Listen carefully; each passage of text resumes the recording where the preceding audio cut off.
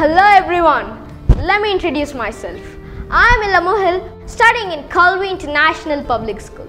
Today I am so excited to explain about a topic from an amazing book from World Book Corporation, United States of America. Yes, it's about a robot Asimo. Asimo is a humanoid robot which was created by a Japanese company called Honda Motors in the mid of 1980s. Engineers began to work on robots which can walk or run with two legs. The first Asimo model was introduced to the public at the 20s. Not only Asimo just walk and walk, it even jump, crawl and stand on one foot. Asimo moves like a pro and responds to our voice command and do simpler activities.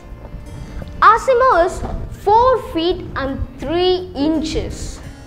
I hope this Asimo is gonna play a vital role in designing the present as well as the future world because Asimo is the rock star of the humanoid robots.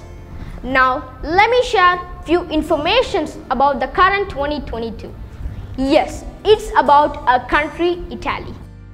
Italy is determined to be the one of the best country on robotics who use industrial robots in manufacturing, cosmetic and textile companies.